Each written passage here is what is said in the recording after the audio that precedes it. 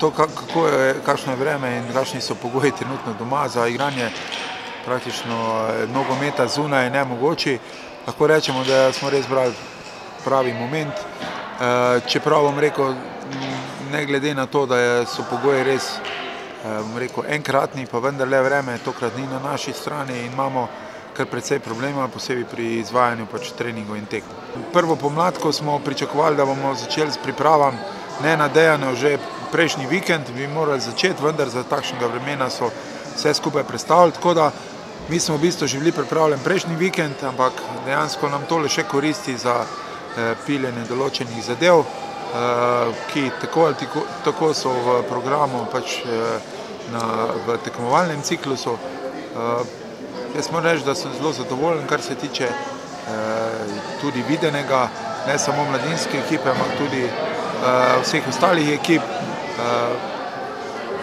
Tako da, kot je že bilo rečeno, fantje po moje nestrpno čakajo že prve uradne tekme. V bistvu je to bilo načrtovano v smislu novega sodelovanja z nogometnim klubom Šampion.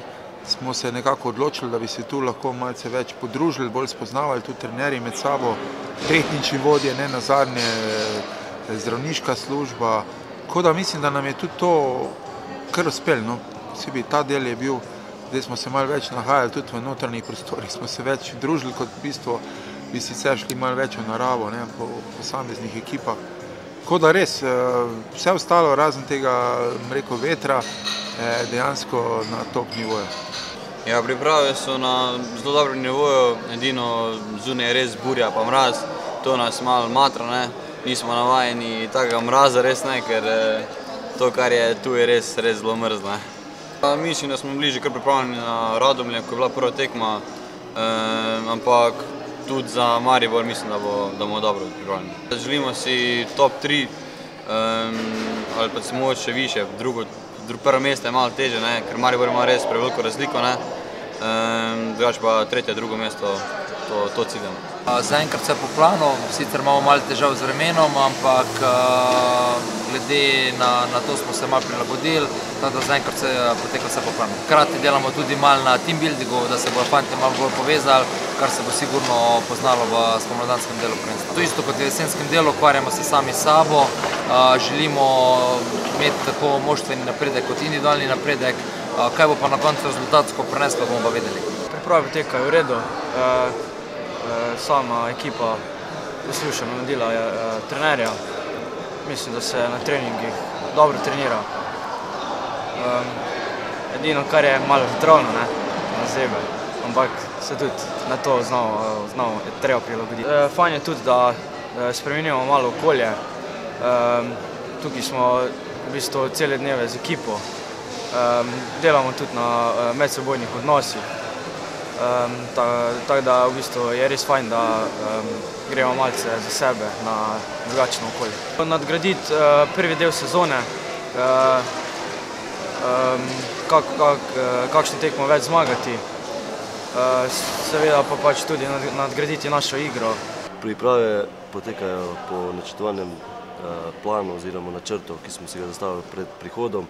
Res je, da nam malenkost oziroma kar močno vreme ponagajalo oziroma mraz in veter sta naredila svoje, ampak kljub temu fantje dajo na vsakem treningu, na vsaki obveznosti, kar jim zadamo, svoj maksimum in s tega vidika smo zadovoljni z njimi in to je vse skupaj prišlo do tega oziroma plan, da izpolnimo do začetka prvenstva za drugo delo, drugi del sezone, tako da mislim, da gre vse po načrtu. Fantje so praktično štiriindvajset ur skupaj, tule se ustvarja neka kemija, neka homogenost v ekipi in to je vsekakor dobrodošlo. Na pripravah je odlično, veliko treniramo, imamo se fajn, imamo odlične pogoje, povezani smo bolj, pač smo pa trije v sobi, se družimo veliko. Treniramo že tri mesece, pač se pripravljamo na začetek drugega spomladanskega dela in vsi nestrpno čakamo začetek sezone. Tukaj je zelo super, so zelo dobri pogoji, na treningih oddelamo vse najboljše v svojih močeh. Pa moram tudi pohvaliti tete Gospode za tukaj so zelo ustrežljivi, hrana je dobra, tukaj je toplo, tu pa dan zdaj zapiha, ampak smo zelo dobro oblečeni, tako da nam ne prija do živega. Ko mi čakamo na tekme, dali bomo vse od sebe in poskusali dobiti prvo ali drugo mesto, tako da moram tudi spodbujati svojo ekipo. Pravi potekajo vse po, po, po planu, ki smo ga naredili že v, v celju. Eh, žal eh, malo problemov imamo z, z vremenom, vendar vseeno smo, smo vse do zdaj opravili tako, kot mora biti in še ta dan, ki nam je ostal, bomo maksimalno izkoristili, ter jutri odigrali še tisto zadnjo tekmo, ter se na to vrnili v celje. Fantje delajo dobro, treba jih je pohvaliti, ker res kljub, tem, kljub tej buri premagujejo vse, vse napore maksimalno in so zelo pridni na treningu. Da, da mine ta zima in da se čim prej, čim prej začnejo tekme, to želimo tako mi kot tudi fantje in upam, da bomo čim bolje pripravljeni pred nadaljevanjem prvenstva. Imamo se dobro, treniramo na dobrem pogojih, e, igrišča so zelo dobro pripravljena, tekme imamo tudi tekme in treninge, veliko treningov.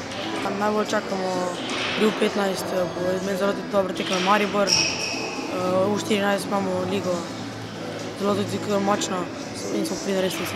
Bolje kot na Hrvaškem, ko je bolj toplo in morje, tudi da dober tis.